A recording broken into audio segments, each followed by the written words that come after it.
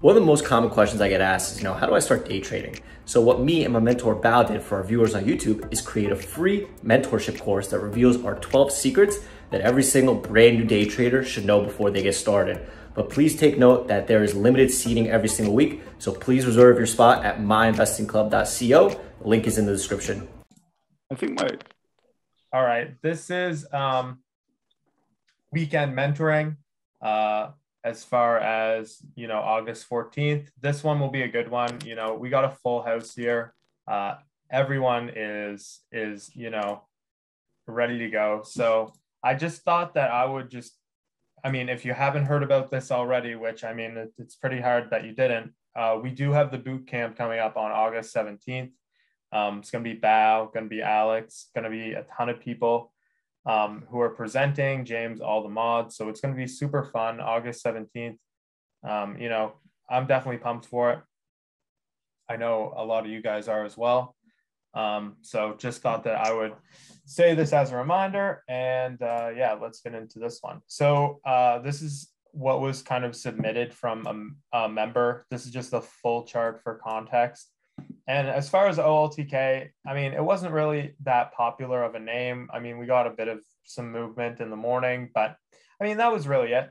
Um, and so this was from Xander, and this is kind of his trade. And I guess what how we'll do it today is because there's so many people, um, we'll just start out with me and then we'll go to Clow, then Tom, then James, then Austin, Steve, and then if Oliver wants to say anything, Oliver can.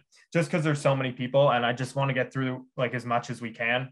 So as far as I go, um, you know, I think this chart is okay, but I just really want to talk about, um, you know, just kind of the entry and the reentry because you notice that this chart did kind of end up fading. You know, there were other stocks in play there were kind of other things going on with the ticker. And so, I mean, this this is okay, but you have to be saying in this scenario, like, okay, what's the range in this? What's the range here, right? We have two nine, and I feel like we talk about this every single weekend mentoring, but we have two nine and we have uh, 3.2. And this is kind of a trade that's near the bottom of the range. And you have to be saying, like, okay, like, like also, where's my support here as well? So we have support here at 2.9. You don't really want to be shorting into support and into that weakness, right? You always want to be looking to kind of either kind of scale higher with a set risk, but you don't really want to be shorting into weakness, in my opinion. So for me, um, I'm just saying like the short into three is okay, but you have to be saying like, okay, I'm willing to go 3.1, 3.2 just because of the range, right? And that's kind of how I feel. So where you kind of added at 2.9 as a place that you could have been covering, then you could have reshorted VWAP, you know, 3.1, 3.2, looked for that kind of move higher and looked for that kind of fade lower. Um, so that's kind of, uh, you know, that's kind of my uh, perspective on this ticker. If anyone else wants to add in, I think Clow is his turns next and then Tom. No, I don't like the range on this. That's the only thing. And yeah. I, I, I 100% agree with what you said. Tommy? Yeah, for me, it's just like that kennel as a stuff. Yes, you could, I don't know, like chase at three and maybe cover right after when it gets to that support. But it's, it's, it's really not much range here. Yeah. Uh, you know, you could go for, you know, quickie here, you know, like scout maybe after the big death kennel or stuff through VWAP. But probably that's it. Yeah. And I think that person he added more, or is that yeah, after yeah, he added a two nine. Yeah, so you know, if you add it and thinking it's going it's going to wash to that 2.8, 2.7, right? You should set it for break even. Okay. I mean, that's just how I do it. If I want to add more size and anticipate that breakdown, then I'm I'm gonna have uh, stop, you know, just at you know break even. That's all. Yeah. So I mean, I've been here before. Okay. This is this is a tough one. Like we've got higher lows around VWAP, and then we've got volume crossing VWAP. And the only people I yeah. see in trouble after the first couple shorts are really uh, shorts. So yeah. like it's it's a dangerous short to me. Yeah. Uh, but like I said, I've been there. I mean, everyone's been there. I think it's a tough one. Your Emotions yeah. get to get out. But really, you got to just look at objectively, like who's stuck here. Yeah. Once you cross VWAP, shorts are really in trouble, and not many longs are in trouble. Yeah. I agree. I agree. All right. And, uh, and my mic's in trouble. Yeah, I agree. All right. Um, next on this um, is open. Um, this is just a kind of first bounce trade. I mean, there's not really much to say on this one other than just kind of nice work.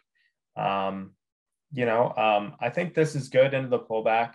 It's not necessarily a trade that I would love to take. And I think the reason being is that when we get a big, big, big kind of pullback on a on a stock like this, I'm always a little bit kind of hesitant um, in, in situations like that. And, and I guess the reason being is just in this market, we've been seeing a lot, you know, after we get a pullback like this, the stock doesn't recover or it does recover or whatever, you know. So I guess in a situation like this, especially with a slow kind of grinder stock like this, I mean, to me, it's a little bit risky. I wouldn't necessarily love it, but um, it ended up kind of working out. And it, it still was front side technically, but I mean, and you were kind of following the uptrend and everything, but you know, definitely a risky one in my opinion.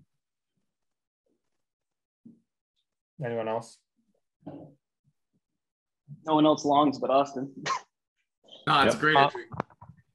so, so I think, and I think Austin shows a lot about it and talk about it in his trade. It's like one entry, one exit. No, it's like I would have taken profit be, below 18, like in 1792, and then scale up to 1812, 1822, and that's it. Because mm-hmm. of the that that high previous day of 1820, um, high previous of 1820, 1825. I, that's it. That's the only thing. Yeah.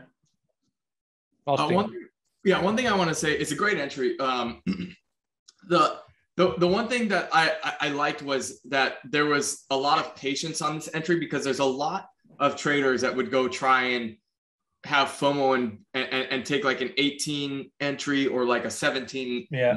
entry on the way down or something like that. Yeah. Thinking, oh, it's like the first dip in a long time. And yeah. this is an exa- this is an example of what I talk about how when stocks, you know, have a really tight uh, you know, yeah, steep uptrend, eventually that steepness will break and then it's your job to get to be patient kind of take a step back and be like it's probably going to you know be a larger time frame kind of entry and that's what this one is yeah. it's it's patient all the way until yep. 1750ish yep. area yep no I, so I, I like that I definitely agree. I the only thing is is that this first kind of dip, it, like it's really kind of a 50. I mean, we are so above VWAP. We are kind of so deviated and it does work. But this first kind of dip can be something that does get stuffed on pretty hard. You know, it can be like it can be a situation where you know we we pop a little bit and then we just get slammed again and then we're at 1750 so use hard stops on an entry like this because that first dip for longs where every long is like man this is it this is it this is it and they start kind of averaging down you know, you need to kind of, I mean, the patience for the entry was great. The plan worked out. It was really good, but just be careful on those, those first kind of dip trades, you know? Thank you so much for watching our video. If you want to see more of our videos, please subscribe to our YouTube channel by clicking the button here. We do our best to post a new video every single day. If you have any questions about MIC or any general trading questions, please text Tosh using the number here. Also, stay up to date by watching some of our most recent videos right over here.